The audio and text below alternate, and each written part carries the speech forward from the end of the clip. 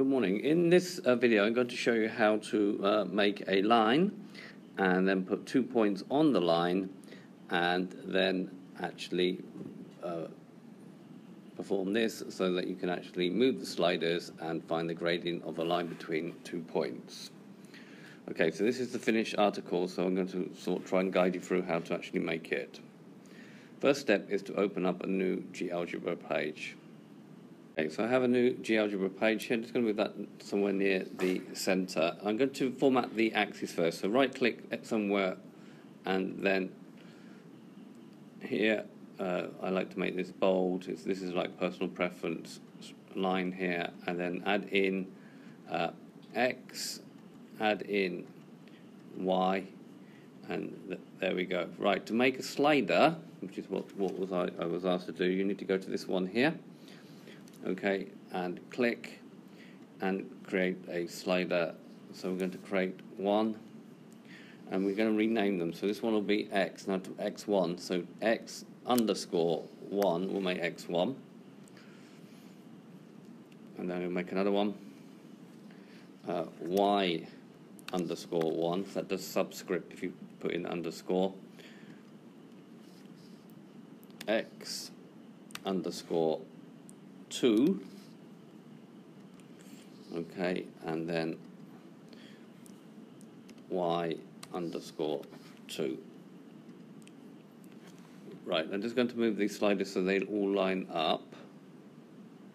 So to do that just right click and you take off fix object. So actually you can select all of them here. If you if, you go to the select tool and select them all shift and right click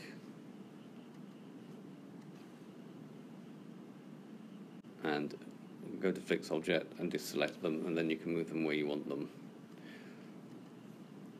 So let's just move them that.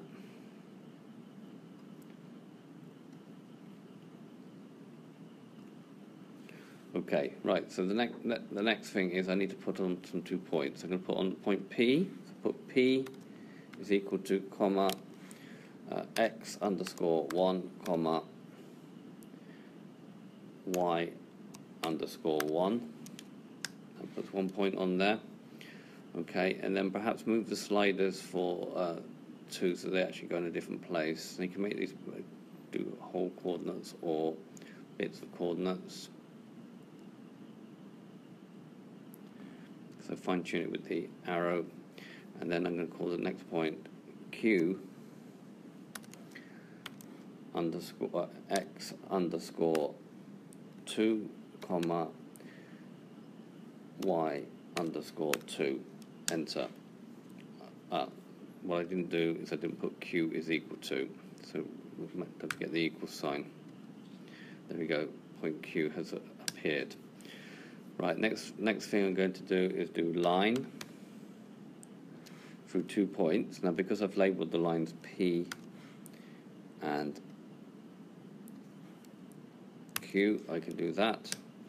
There's my line. Now, to change colors and things like this, and you can do this any object, is just right click, object properties, style, you can make the line a bit thicker, or you can change the color. This is all like personal preference, okay? For the points, you might want them to stand out a little bit, so select both of them, right click, object properties, uh, make them red to stand out, style maybe a bit bigger, there we go. Right, so if we now move the sliders, the line will move with the sliders. Okay, we want to put in this point about here as well. So we'll call that point n is equal to comma now. So we want the x coordinate of q, so well, that's going to be x2, so x underscore 2, comma and we want the uh, y coordinate of 1, so y underscore 1. Now we'll put that point there. Okay, if I just make that 5, okay. And then again, I can make that point stand out, object properties, color, red, style, make it stand out. We want some line segments now joining the two points. So line segments, so they're to there and there to there. For those two line segments, we probably want to make them dashed. Object properties, uh, color, let's make them blue, let's make the style thicker, and then make it a dashed style as well. Okay, and also we don't want the uh, name on the thing, but might be good to have the value. So just have the value, that might give me the length. Press OK, then I've got the value.